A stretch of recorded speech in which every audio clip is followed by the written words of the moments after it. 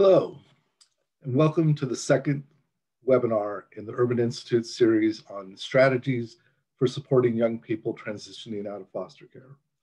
I'm Mike Pergamit. I'm a senior fellow at the Urban Institute. Uh, for those who don't know the Urban Institute, we're a nonprofit, nonpartisan social policy research organization. And before we start, I wanted to have a couple of housekeeping items.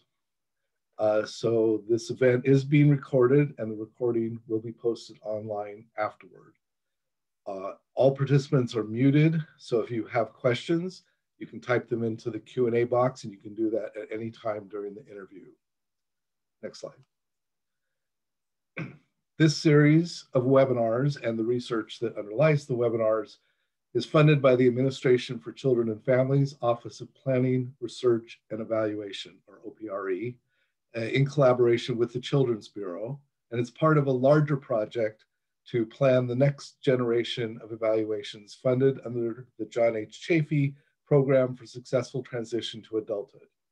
The Urban Institute leads the project with our partner Chapin Hall at the University of Chicago.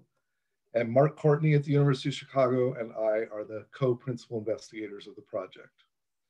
I do want to acknowledge great support that we received from uh, OPRE, particularly from Maria Woolverton and Kelly McKenzie, as well as from Catherine Heath at the Children's Bureau.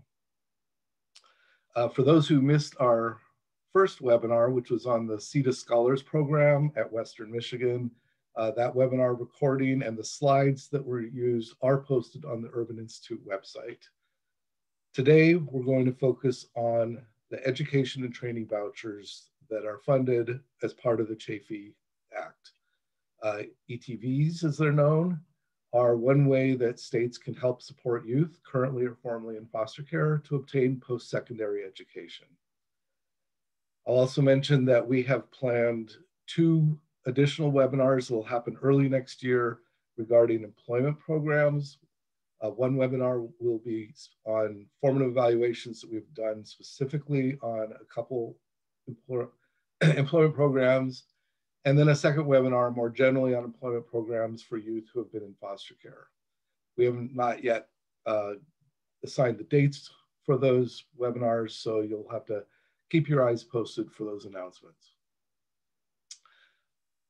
Next slide. So I'd, I'd like to turn this over to Devlin Hanson. Devlin is a senior research associate here at Urban and has led our examination of the ETV program and I want to acknowledge also Kate Thomas, who's with us, who has been a major contributor to the work uh, that you'll hear about today. And so Devlin, I'm going to turn it over to you. Thanks, Mike. Um, and thank you all for joining us today. Um, my name is Devlin Hanson, and I'm a Senior Research Associate at the Urban Institute, and I will be presenting our work on evaluating the Chafee Educational and Training Voucher Program. Post-secondary education is an essential pathway for economic and social mobility. Students without financial supports often face challenges in applying to and completing a college education. Youth who are currently or were formerly in foster care are often faced with barriers to college access as they cannot count on the financial supports that parents often continue to provide their children well into their early adult years. This can lead to poorer outcomes than their peers, such as being less likely to enroll in college and less likely to earn a degree. Federal and state governments and universities are seeking to alleviate some of these barriers for youth aging out of foster care by providing support through several programs, including tuition waivers and college support programs. The landscape of college resources and supports varies widely across the country. The two biggest resources for youth who are currently or were formerly in foster care are extended foster care and tuition waivers. Extended foster care allows youth to stay in foster care after age 18 to receive housing and other services. More than half of states have state or federally funded extended foster care, but some states still do not. Tuition waivers waive in state tuition for either public two year schools or public two and four year schools for youth who were in foster care. As of 2017, about 20 states had some form of tuition waiver. In addition, there are other state policies and programs which provide other forms of financial aid and scholarships. Today we will discuss a federal program available in all states called the Chafee Educational and Training Voucher Program, also known as the ETV program. The Chafee Educational and Training Voucher Program was created by Congress in 2001. Since 2002, Congress has allocated $43 million annually to states and tribes for this program. The ETV program provides up to $5,000 per year for post-secondary education or training to cover costs of attendance such as tuition, books, fees, housing, and more based on the unmet need of the youth and the cost of attendance for the youth who are currently in or were formerly in foster care. Until February 2018, youth were eligible to receive an ETV until their 23rd birthday if enrolled by age 21 and making satisfactory progress. Recent changes in the ETV program with the Family First Prevention Services Act of 2018 include allowing states to extend eligibility up to age 26, but for no more than five years total. This study is the first multi-state analysis of the ETV program, which will look at who receives ETVs, how ETVs are used, and whether ETVs improve recipients' educational outcomes. Today, we will discuss the preliminary answers to our key research questions. We will explore the differences in ETV implementation across states, how youth use ETVs, the effect of ETV eligibility on college enrollment, the types of institutions youth attend, as well as the characteristics of students who receive an ETV and how their persistence and graduation outcomes differ from their peers. It's important to note that this analysis is still preliminary and we still have additional analysis we will be conducting. We use several different data sources for our research. First, we conducted interviews with state ETV coordinators and administrators in order to learn how states implemented their ETV programs, many of whom are attending the webinar today. Thank you for joining. For each state, we also received state child welfare data matched with ETV program data. Finally, we matched the child welfare data with National Student Clearinghouse data on college enrollment and graduation. It's important to note that there are limitations to the National Student Clearinghouse data, specifically that it misses some technical colleges, training programs, and other for-profit colleges. We selected 10 states to participate in our study in order to achieve geographic diversity, diversity in extended care and tuition waiver availability, and diversity in how they implement their ETV programs. We reached out to other states as well, but they were unable to meet our data sharing needs. While we will discuss implementation across all 10 states, we will only present data from nine of the 10 states. We are still working through some data issues with Colorado, so they have been excluded for the time being. For each of the nine remaining states, we received child welfare histories for all youth who were in care at age 16 or older from around 2005 to 2017, although the exact years vary from state to state. This sample should include all youth who could potentially be eligible for the program. Overall, this represents 193,000 youth. This data predates the change in the ETV program related to the Family First Prevention Services Act of 2018. So youth in this data set are only eligible for the ETV program until age 23. For our presentation today, we used three primary types of analysis.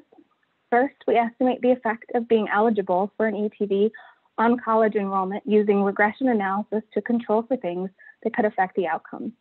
In order to identify this effect, we take advantage of cross-state differences in eligibility.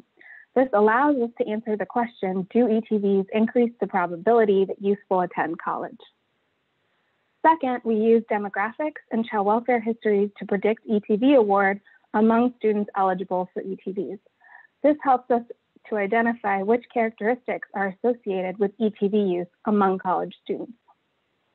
Finally, we run descriptive tabulations of students who enroll with an ETV compared to ETV eligible students who enroll without an ETV in order to see whether ETV award is associated with educational persistence. It's important to note that these are just associations and that we cannot say whether an ETV is leading to persistence or whether youth who are more likely to persist are more likely to get an ETV. One thing we discovered during our interviews with states is that the implementation of the ETV program varies widely from state to state. The ETV program is a state administered program within federal requirements. As such, states can make their own determination on how to best administer the program. There are many aspects of implementation that vary across states. First, the eligibility criteria. In general, any youth who is in care or adopted after the age of 16 could potentially be eligible, but some states are more restrictive. In all of our 10 states, youth who are still in care at age 18 and those who are adopted after age 16 are eligible. In four states, youth who have reunified with their families after age 16 are also eligible for ETVs. Two states have additional criteria based on the amount of time they spend in, spent in care. And one of the states also has a prioritization list in addition to their eligibility criteria. Next, strategies for outreach also varied widely across states. Many states rely heavily on the independent living coordinators to discuss the ETV program with eligible youth aging out of foster care. Some states also use either youth or caseworker conferences, and some reach out to youth directly through mail or email. There's also wide variation in the application and dispersal process. In general, youth must apply to the program after enrolling in school, usually in the spring or summer before fall enrollment, although this is not universally true across ETV programs. One state, which is not included in this analysis, required no application at all, but is able to do a data match with the higher education organization in their state to provide ETV funding as a part of their financial aid package with no application needed. All of the 10 states in our study did require some form of initial application. The application can be anywhere from one to five pages long. Some states provide both paper and online options. Some only provide online and some only provide paper options. Five of the states required students to provide additional documents as a part of the application, such as high school transcript, a copy of the FAFSA, or proof of enrollment. While most states disperse the funds through the colleges, some states give funding to youth directly. Finally, the renewal process for the ETV program also varies across states. All states require that youth maintain satisfactory academic progress, which is defined by the school that they are attending, although many also allow for an appeals process to continue without maintaining satisfactory academic progress. Some states require youth to recomplete the application entirely every year, and others require, others require no action on the part of the youth at all in order to renew. As described in these last few slides, there is really a wide variation in what states require youth to do in order to receive and maintain an ETV. Next, I'm going to discuss the extent to which eligible youth use ETVs. Across the nine states, 32% of youth who are eligible for ETVs enroll in college by age 21. Of those who enroll by age 21, only 37% were awarded a voucher. There may be many reasons why a youth enrolled in college without a voucher. They may not know about the program, they may not need the voucher due to other funding sources, or there may not be enough funding, although we only heard this in one of our states. We ran regressions to predict which factors influenced whether a youth enrolled with an ETV or not. This chart presents the rate of ETV award among college enrollees who are eligible for an ETV. So for instance, this chart is saying for state one, 31% of youth who were eligible for an ETV and enrolled in college were actually awarded an ETV. The probability of receiving an ETV among those enrolled varied widely by state, even controlling for youth characteristics, from 19% of enrolled youth to 62% of enrolled youth. These rates may vary for a number of reasons, for instance, variation in state policies, variation in how the ETV program is implemented, and whether there's enough funds available in each state. The reasons behind these differences is something we hope to parse out in future analysis. Most youth, um, so 58% of youth who receive a voucher receive it for more than one year, but a large proportion, 42%, only receive it for one year. One fifth receives the voucher for four or more years. From the program data, it appears that many youth do not use their full awarded amount. One possible reason why youth might be only spending part of the award is that students do not complete the year or do not end up attending school at all.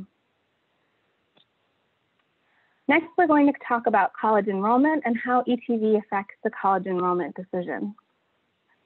Using variation in eligibility criteria across states, we are able to identify the effect of being eligible for an ETV on enrollment in college.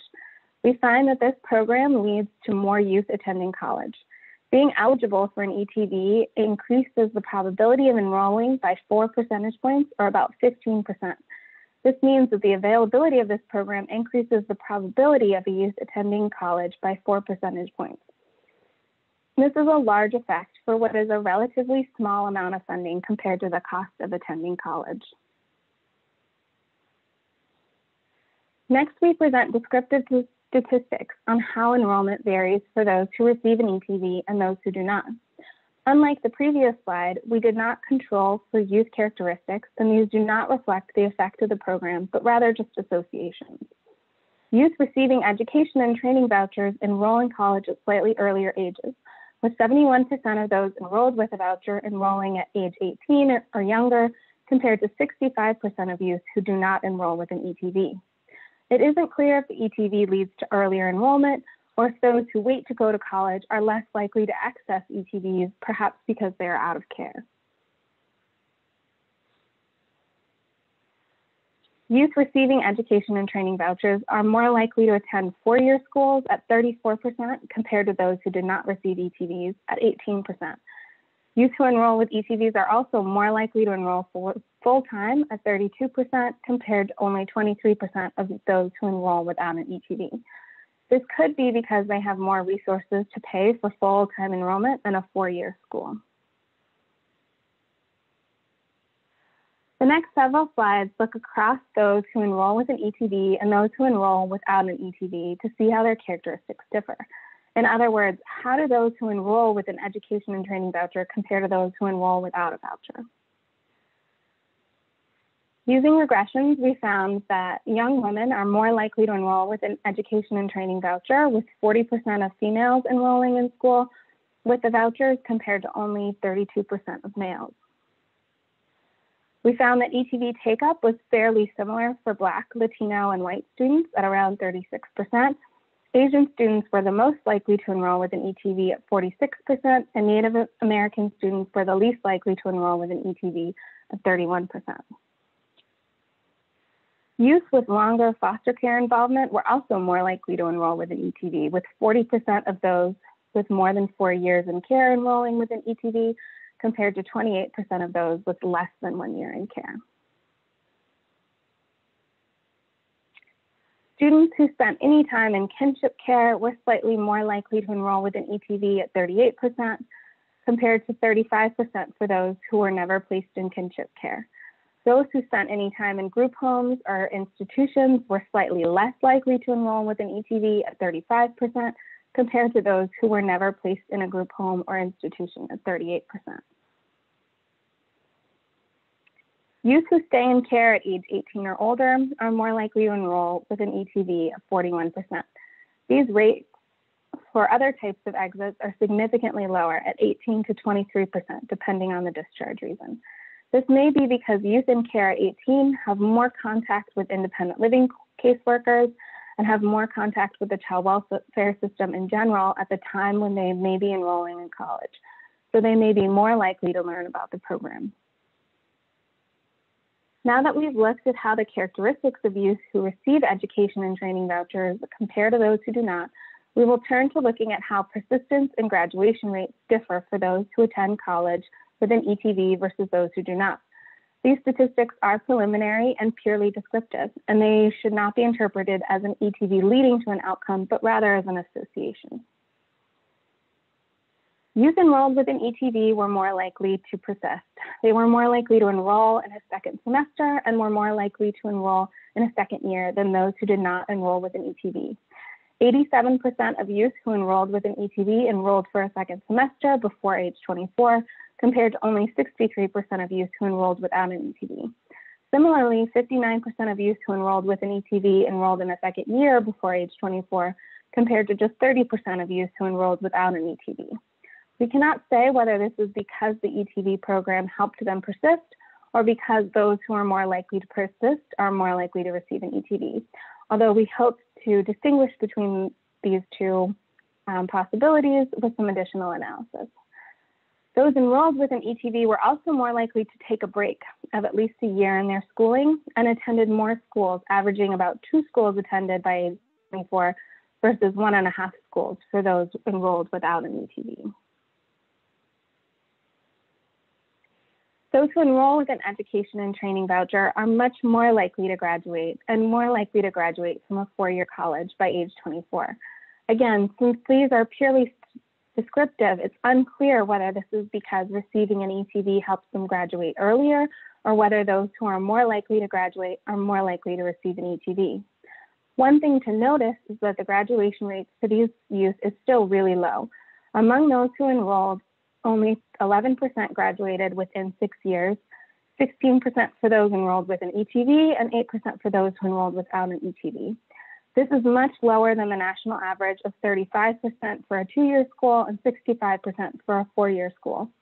Even though we are seeing that those who enroll with an ETV have higher graduation rates, there is still a significant gap between the graduation rate of youth who are currently or were formerly in foster care and other youth. In sum, we have found that there is wide variation in the implementation of the ETV program across states, and that being eligible for an ETV appears to increase the probability of enrolling in school. We have also found that youth who are female and youth with longer foster care involvement are more likely to enroll with ETVs than other students. Finally, ETV receipt is associated with earlier college enrollment and graduation. The results we presented today are preliminary. We still have some additional analysis to incorporate, including adding variation in state level policies and practices into our analysis, including adding extended care, tuition waivers, and measures of how states implement their ETV program. We will also be running regressions to try to determine the effect of ETV award on persistence. Finally, we will be conducting interviews with youth to incorporate youth perspectives into our work. And now I'd like to welcome Mike Pergamit and Kate Thomas, the other members of our evaluation team, to join me for our discussion. Right. Well, thanks, Devlin. We uh, that was uh, a quick presentation, and we have a lot of extra time for questions, and we have a few already. So uh, I'm not the one who's going to answer them. I'm going to relay them to you and Kate. Uh, so uh, one we were asked, are you allowed to use an ETV for trade schools or an apprenticeship program? And uh, to what extent has, has that been incorporated in your research or what are the issues there? Um, so I believe, yes, you are allowed to use the ETV program for those, um, ETV funding for those um, types of programs. Um, that's just something we're not able to obtain through our analysis. Um, the National Student Clearinghouse I believe, does not have um, that kind of data. Um, so we're not able to see that. However, we are able to see to what extent, um, at least in a few of the states that have provided ETV program data on exactly where youth is going to school, we're able to see what share of youth actually enroll in those types of colleges, um, although it seems like the rate is, is fairly low. Yeah, I would add that uh, although it is true you can't measure trade schools specifically, uh, a lot of trade related activity takes place in community colleges. And so that would be picked up by National Student Clearinghouse. So then there's a, a question on, uh, you had a result that ETV recipients attend more schools than those who don't get ETVs. Would that be partly because of they're more likely maybe to go from community colleges to four-year colleges. So you pick up extra more schools that way. Um, it could be a number of reasons. We're really not sure at this point. Um, it could be um, what, that they're going from two-year schools to four-year schools. Um, it could be that they're just switching schools over time. Um, it's something that we plan to dig into, but I, I don't have a good answer for why we're seeing that yet. Okay. Um, are you, and you looked at uh, graduation through age 24, uh, but a lot of times common measures are through age 26. Are you able to look at that? We are able to look at that for some of the states.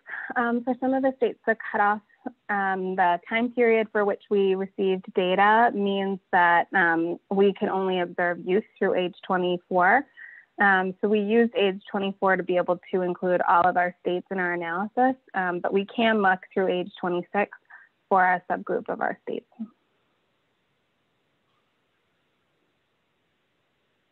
Okay. Um, you mentioned uh, that sometimes the funding goes directly to the college, sometimes directly to the student. Uh, when it is provided to the student, how do they get that funding? Is it like a check, a direct deposit, or, what? And then uh, do we know anything about the difference between how funds are used, whether it goes directly to the college versus to the youth? Um, so for um, funds that are directly provided for to the youth, um, it's directly provided through, I think, either a check or direct deposit, although I'd have to double check with the states um, that provide that. Um, for the ones who are going through colleges, um, where the funding goes through colleges, the college is going to apply that funding, you know, first to um, things like tuition, um, but then will, once those um, costs are paid off for the remaining costs associated with cost of attendance. So for instance, if the youth is not in, getting room and board through the college, then they would receive a check from the college in order to kind of pay for their room and board. I'll just add that when um, ETV programs are distributing it directly to states, I think we've heard that it's through sometimes gift cards, sometimes direct deposit, sometimes mailing a check to the student, um, whereas other times it's on a reimbursement basis, just really depending on the policies of the state this is one aspect in which really most states have different approaches. And just a quick question, there's the, doesn't an ETV have to be used for accredited schools only? I, I believe um, that is true. Um, this is something that definitely um, our federal partners, the Children's Bureau, could provide more insight on. But um, my understanding is that it's accredited institutions or vocational or technical institutions, but a good question. So do any states have, uh, you, you mentioned that to continue you have to have satisfactory progress, but do any states have minimum academic requirements for their initial eligibility? And that, uh, does that, did you look at whether that affects enrollment or persistence?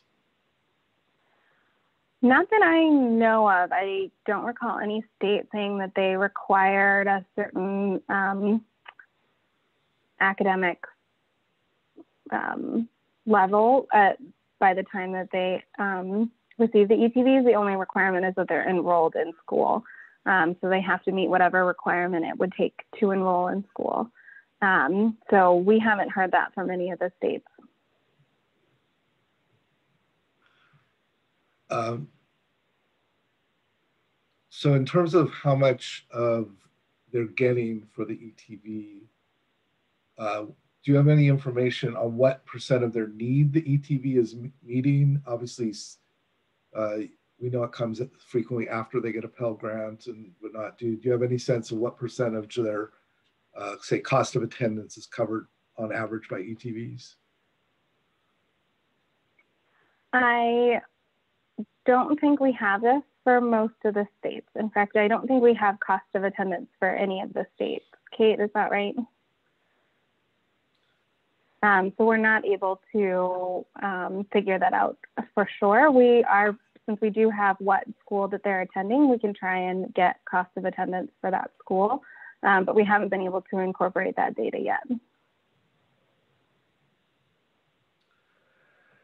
Okay.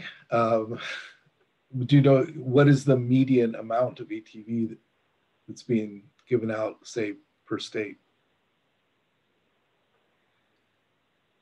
In general, states award the maximum 5,000 or the maximum that a student needs um, in terms of their unmet need. Um, I don't know off the top of my head the median amount. I know the mean was about $3,400. Is that right, Kate?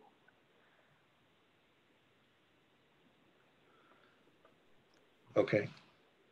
Um, so in terms of other, as you continue your, your analyses, do you have other information about the other financial aid that students are receiving, Pell Grants, tuition, uh, as well as when if they get a tuition waiver? I know you're going to do some work on the effect of tuition waivers. No, unfortunately, we can't tell that in our data. Um, we can tell whether, for instance, tuition waivers were in effect at the time that they enrolled, or whether um, extended foster care was in effect at the time that they enrolled, but we don't actually receive any data on what financial assistance that they received. Um, so we're not able to parse that out, for instance, whether they received a Pell Grant. Well, while we're on the subject of the amount of ETVs, uh, did you look at whether how much they receive affects, makes a difference in whether they uh, complete or persist or uh, re-enroll? Um, no, we haven't looked at that yet, but we do plan on looking at that in the future. Yeah, maybe you could kind of say again some of the future things you're going to be looking at. Yes, we have a very long list of future things that we plan to look at. Um, one of which is um, incorporating, you know, the state level policies that we um, know would affect youth um, take up of ETVs, such as tuition waivers and extended foster care, as well as how um, states implement the program. We're also planning to pull in IPEDS data, which provides data on the characteristics of the universities and colleges in our data set um, to look at um, the type more in detail at the types of colleges that they're attending. Um, we are also planning to look um, at really dig into the effects of um, ETV on persistence, um, and we'll be digging into how kind of their use of ETVs affects their persistence. So uh, I think you talked about this a little bit. How are eligible students notified about the program? Can you elaborate a little on that? And also, do you have a sense that anybody, whether it's an IL coordinator or someone, is actually sort of, and I don't know, I'll use this, uh, they asked about tracking and notifying students. So being, anticipating who's going to be eligible and reaching out to them? Yeah, I mean, our sense is that in general, um, youth learn about the program through their independent living coordinators. Um, and then there's variation across states in how training for the independent living coordinators um, works and how independent living coordinators learn about this. Um, and there's also a lot of variation in terms of how students hear about this. Um, some of the states um, actually email youth um, or mail youth um, flyers about the program if they're eligible. Um, one of the things that child welfare agencies can't really identify with their data sets is, um, you know, whether youth have um, received an ETV or, grad or received a GED or graduated from high school. which is a kind of requirement in order to enroll in college and receive the ETV. Um, and so it's hard for them to know exactly which students, which um, youth would actually be eligible.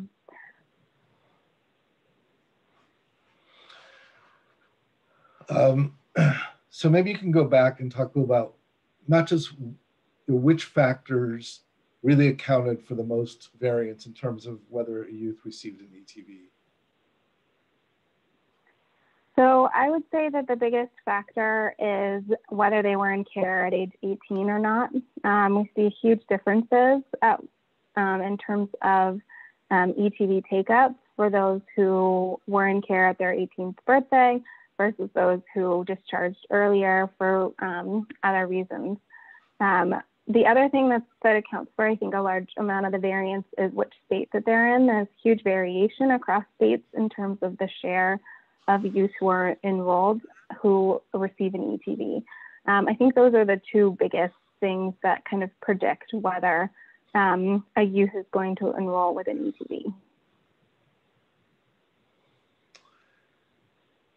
So someone did write in and say that schools must be accredited to receive federal aid and thus ETVs. Youth must maintain the federal 2.0 GPA to make their satisfactory academic progress in order to be eligible for federal aid and ETV.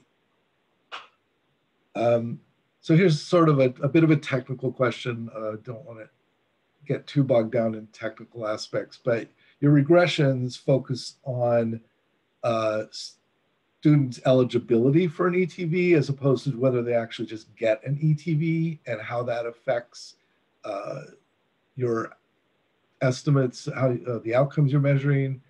And can you talk a little about uh, that compared to the fact that you know, if a student it just isn't even aware, so they may be eligible, but they're not aware, and so you're not really picking, you're you don't count, account for that exactly.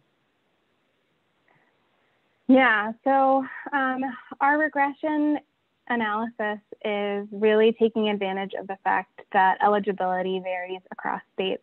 Um, so as I mentioned, um, in four of the states, um, reunification cases are eligible. So cases where the youth exited care due to reunification. Um, and so basically what the regressions do is it, it takes advantage of that and looks at youth who um, re, reunified um, and compares the enrollment of youth who reunified in states where reunification cases are eligible compared to um, youth in who reunified in states where um, reunification cases are not eligible. And then it also kind of subtracts out the difference that we see for other types of youth where the eligibility is the same across the states to try and account for state differences. Um, so that's kind of the identification strategy for that um, regression. We also actually looked at, um, we compared states that had um, length of time in care requirements to those who did not, um, and use that eligibility criteria to identify um, effects as well. And we saw a similar effect size. Um, so that's really how our what our identification strategy is. Um, we do not account in there. We cannot tell whether youth knew about ETVs or not. Um, so it's possible that this is kind of if you actually um, made sure that all youth knew about ETVs, the effect could be even larger. Okay, we're getting a lot of questions about youth outreach. Uh, and before I say that, I also see questions about sort of who they can contact about this work and uh, help with understanding how to get data sharing. So I'm just gonna say we'll, we'll answer those kinds of questions after the webinar. We'll, we'll pull those out of the, the Q&A and, and try to get answers for those sorts of things. And I'll uh, add also that I put Devlin and Mai's emails in the Q&A chat box, so you can feel free to um, contact us. Excellent, thanks, Kate. Um, you mentioned that some states require documentation. What sort of documentations are students required to provide when applying for an ETV? It really depends on the state. Um, so some states uh, require a copy of the FAFSA. Um, some states require a copy of a high school transcript or um, GED. Um, and some states require um, a proof of enrollment. So those are the types of things that we've seen across the states that are included our, in our analysis. Um, one thing to note is, you know, we only include 10 of the states um, across the country in this analysis and in our description of how ETV is implemented. And that, you know, for the other 40 states, we might see even even more variation. I discussed one other state that we spoke to who um, is not a part of this evaluation, but for instance, they do not require an application at all or any kind of um, of documentation because they're able to provide the ETV through um, data matches. So they're able to figure out once somebody enrolls in school, they do a data match with the child welfare agency to determine whether they're eligible and just kind of automatically um, include the ETV as a part of their um, financial aid package. Um, so there's huge variation, and we only see a, small portion of that variation um, in our analysis since we only really talked to um, 10 states. Uh, were any of the states that you talked to using a, a, third party to administer the ETVs versus doing it in-house? And is there any, uh, anything uh, you can say about that? Yes. So um, I can't remember whether it's three or four of our states um, have the ETV program administered through Foster Care to Success. Um, so they kind of take care of the application process. Um, and they also actually are, you know, those are the only situations in which students are really provided with any sort of services outside of what um, other, you know, non-ETV youth um, would receive as a part of being a former foster youth or still being in extended foster care. So they do provide um, some additional services to youth um, such as care packages and kind of just assistance generally. Um, but that that is the only um, service provider we have in our states. Um, there are other service providers that we've heard about from other states that are not included our, in our analysis. Um, at this point, we haven't done an analysis by whether they have a service provider or not, um, but that's something that we can do in the future. Uh, so there was a follow-up on the documentation question. Someone asking, uh, do, do they have to show any documentation about their time spent in foster care, uh, particularly say these youth who were reunified or have already aged out of care?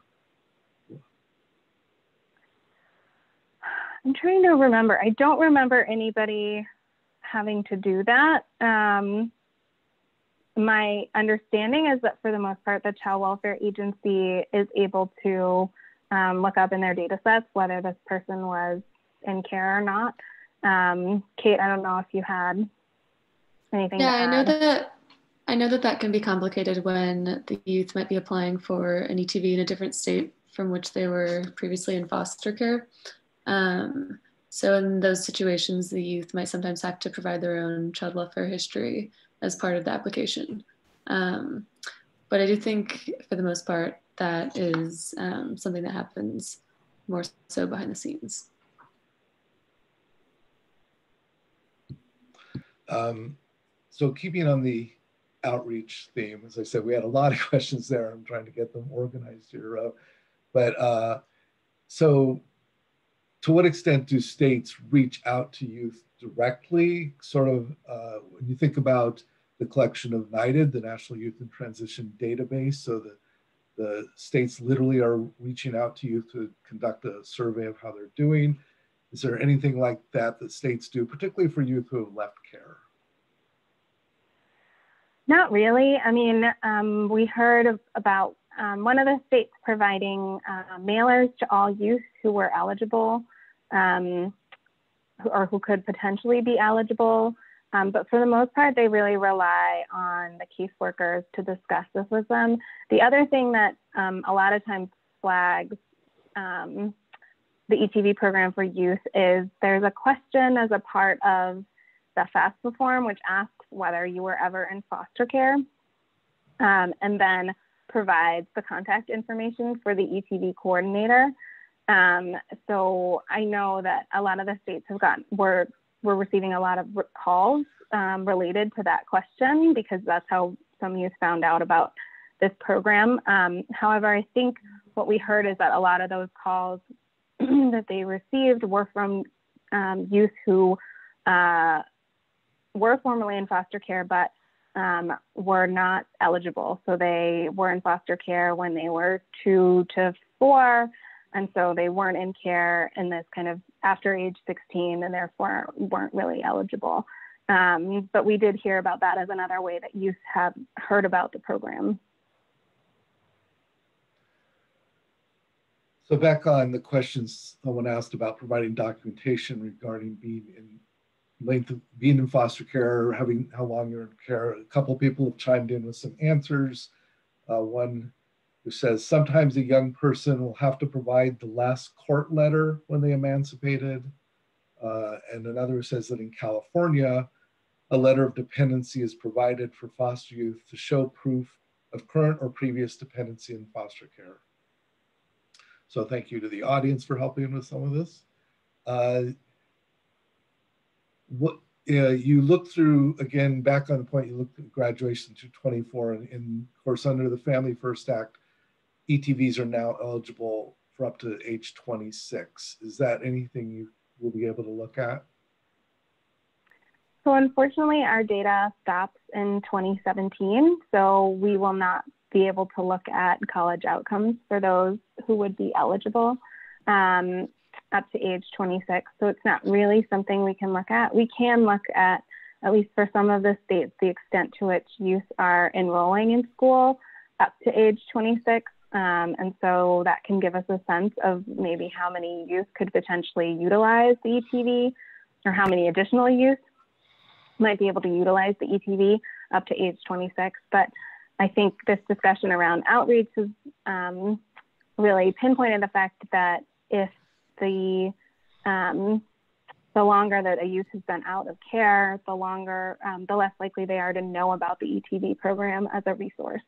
Um, so to the, um, we won't be able to say to what extent um, the youth kind of between age 23 and 26 would actually take up. In addition, um, not all of the states have decided to extend ETV eligibility to age 26. So I believe five out of the 10 states that are included in our analysis have decided to extend to age 26, um, but five have not and have decided to kind of keep things at age 23.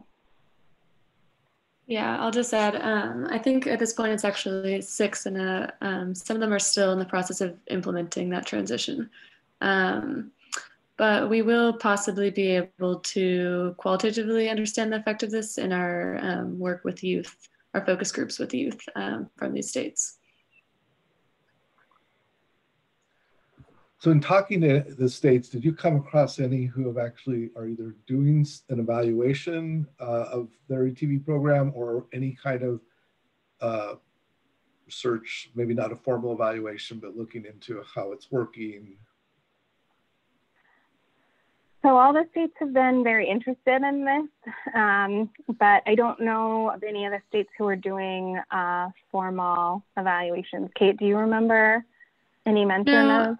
Anything like that? I that? know there's ongoing work um, from external evaluators with California's ETV program, um, but I don't know of any states doing internal evaluations, although it would be great to be corrected in the chat if we're wrong, but um, not that we've heard about in our interviews. I know we've been able to, um, for at least one or two of the states, they they've received the National Student Clearinghouse data themselves um, and then provided it to us. Um, so they do have access to that data as a part of this evaluation.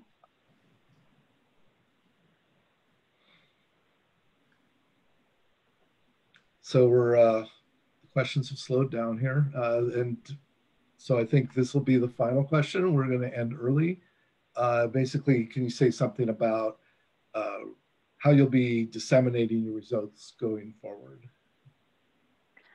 Yeah, so we have um, a lot of plans for dissemination. Um, we will be um, producing a full report of the ETV um, evaluation probably this summer, um, hopefully um, which will provide the results of our evaluation quantitatively. As, as we mentioned, we're also doing focus groups with youth um, to get their perspectives and incorporate those into our analysis.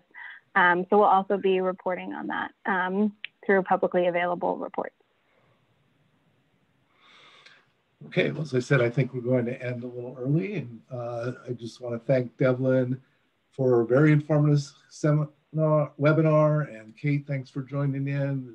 Great work on both your part. Want to thank the audience for joining. We hope you found this of interest. And just a reminder, the, the recording and the slides will be posted on the Urban Institute website. website. It's just urban.org.